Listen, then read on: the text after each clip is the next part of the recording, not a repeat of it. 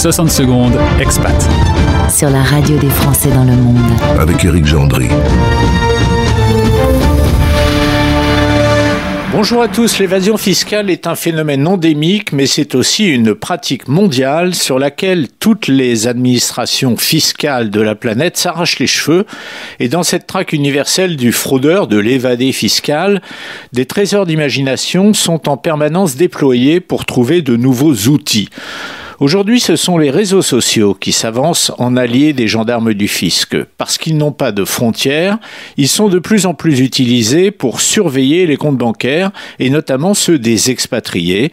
L'occasion de rappeler à tous ceux hein, qui vivent à l'étranger que la loi vous oblige à déclarer les comptes en banque que vous possédez dans d'autres pays. D'autres actifs d'ailleurs sont également concernés, une assurance vie par exemple. Alors on revient à cette surveillance. Elle existe déjà depuis dix ans aux Et depuis, eh de nombreux pays se sont ralliés à l'épluchage systématique de Facebook, X, Instagram, LinkedIn ou encore TikTok. Et ils n'ont qu'à lire ce qu'écrivent eux-mêmes les internautes qui parlent qui se vantent, bref, qui se dévoilent, et attirent ainsi sur eux les gourmandises fiscales. La France, à son tour, emboîte le pas, en allant même plus loin. La loi de finances 2024 suggère même que, dorénavant, les agents du fisc pourront créer de faux comptes pour mieux traquer les fraudeurs sur les réseaux sociaux. Le décret d'application devrait être promulgué dans les semaines qui viennent.